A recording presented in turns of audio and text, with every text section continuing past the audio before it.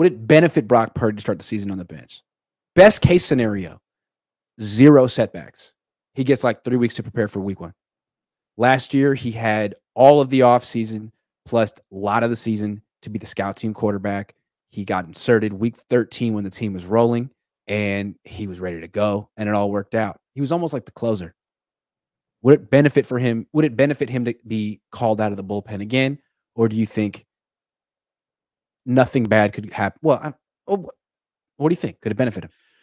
Well, I don't know. I don't know how he's feeling to be honest. I don't know if his if he's got fatigue, if he's got pain, if there's stiffness, swelling, soreness.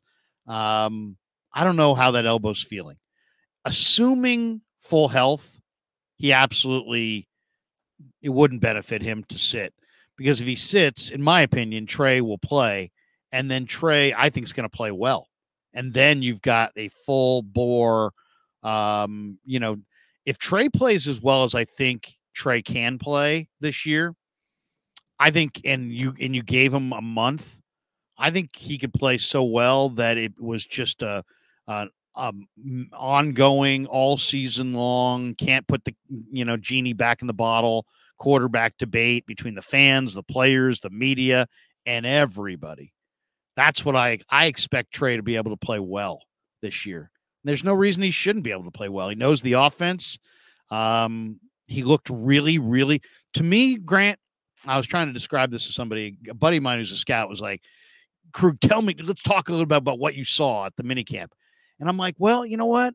I think Trey reminded me in this minicamp of Brock in last year's minicamp. And he's like, okay, go with that. That's good. And we start talking about it. He's like, how so? And I'm like, well, last year I just felt like Brock mastered every drill and it just looked right. Trey had some brief moments of awesome and then brief moments of inaccuracy and and you know indecision windows uh, plays where he's holding the ball throughout the window and he's got to get rid of it he's he's questioning himself you could just he looked like an under-repped quarterback which is what he was yeah. brock looked very much on time and very much like he was like he's done every drill they were doing. He had done it before and was mastering it. Well, that's what I saw this summer or this spring, I guess, from Trey. He knew every drill that was coming and he was mastering those drills. So that's what I saw. And I I, I think that that's gonna that's gonna bleed over into training camp, and you're gonna see him, um, you know, in the preseason produce successful drives that produce points. I'm curious to see if Brock Purdy plays in the preseason. I'm curious to see if he plays in the training camp. I just feel like for him, it wouldn't hurt to start the season on the bench. Uh, he, he you're either getting better, you're getting worse. He has no offseason to get better. He's rehabbing. So I, I think it would benefit him. I mean, not just the fact that he's had no offseason, but the fact that the Niners offensive line is really there more to run block than to pass block. The fact that the Niners can't keep a quarterback healthy for more than two months.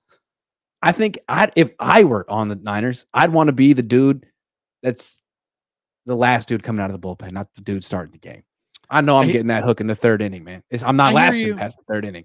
No, I hear you. I, I also I, I do think there's something to hey, you know what? You're probably not going to go the full year uh, without having some kind of an injury, and this minimizes your exposure. Um, I would say though that there. Do you think Brock benefited from sitting last year?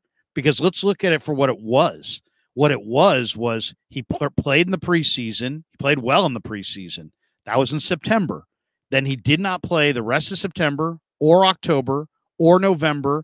Didn't get in there until what 10 days or so into the month of December. This guy sat for 3 months. For 3 months, he didn't get any reps with the first team at all. Did that benefit him? Some people would argue that it did benefit him, but no reps at all. And if he if he's not the starter to begin this year is he getting reps with the first team? Maybe maybe but maybe probably not. So i don't know. I mean i definitely think that he's a more apt to be able to get through the season healthy if you gave him a month off but i think i would say that about any quarterback. Yeah i don't know. It's going to be interesting to see how they handle this one they've they started out like three and three like three years in a row um, it's possible the Niners feel like, who cares about September? we, we know where we're going to be when where, where November starts. We it's all about November and on. And as, as long as we have Brock then, we're good. Um that might be one way to look at it. Like who gives a damn? I mean, unless you're trying to like get the number, get the one, number seed. one seed, but you're not going to get it.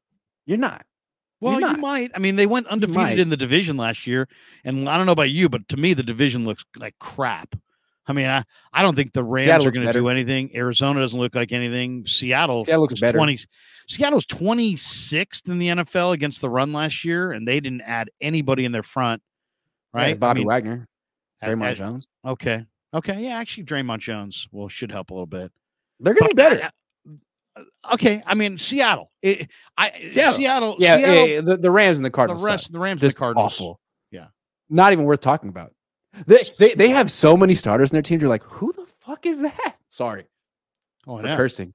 All right, Well, let's I mean, change look, the look at look at the Cardinals. The Cardinals didn't didn't didn't have to get rid of D Hop because of cap reasons. no, They got rid of D Hop because ah, our quarterback's out for the year. Why pay thirty million dollars to a receiver when we aren't going to win Jack? That's Fuck basically it. what they said. It is. The fuck it. Sorry, I'm I'm gonna stop cursing. Vincent Campos says, Grant, you rip on Brock regularly. Weak arm, small ceiling. I rip on him.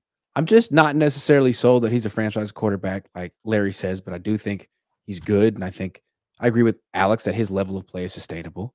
Mike drops Monza says Brock eight games UCL surgery, Trey four games, Darnold minimal time in offense. All three quarterbacks are more likely to have growing pains. Brock's ace in the hole is his contract. Those eight games aren't even in the NFL. Yeah, like Brock's playing like on the NFL version of minimum wage. You got to love that about you. You can't be even- mad at Brock. Oh yeah, He doesn't even exist on the freaking payroll. He's not even there. It's like if you were on the team, Larry. Anything he does is gravy, and it's a lot of gravy. you got to remember this too. I saw, I saw this stat when I was doing my pre-camp uh, breakdown on the Niners, which only consists of like buying like four different magazines and seeing exactly what's in them. But one of the stats that I saw, which I thought was really interesting, outside of 2019, Grant, the Niners have gone six straight years using at least three quarterbacks. Yeah, So the that's odds are, disgusting.